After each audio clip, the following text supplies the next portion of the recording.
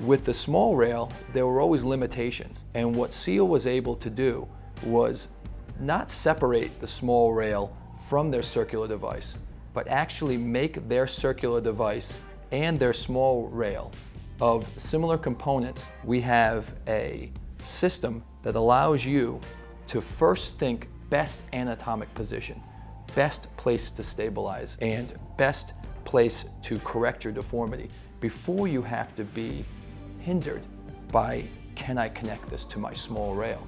That was the sins of the past.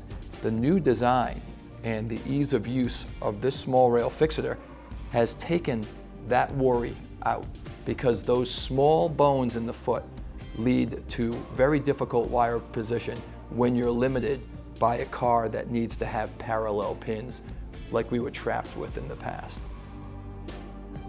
Companies have in the past really focused on the adaptability of their small rail.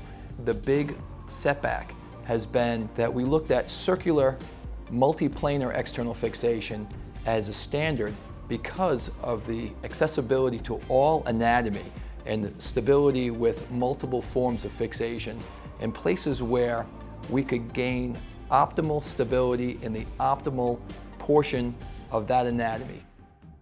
I need a device that can have the optimal stability, can go on quickly, that I as a surgeon know and trust that I can get this on my patient, have the safest amount of anesthesia time, which is the least amount of time, and give them the best result. One of the things that I've seen over the past three years using this product is that this product has the most user-friendly components. And it's something where there is no limitation to speak to one of the representatives from SEAL and they're going to show you how this frame can overcome the perceived limitation because really that's, that's all we have now is perceived limitations when it comes to external fixation and this device.